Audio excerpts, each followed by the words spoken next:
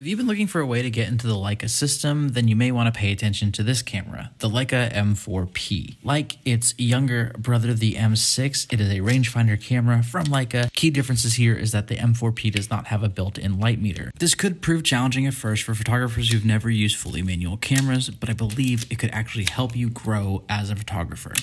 Just something to consider.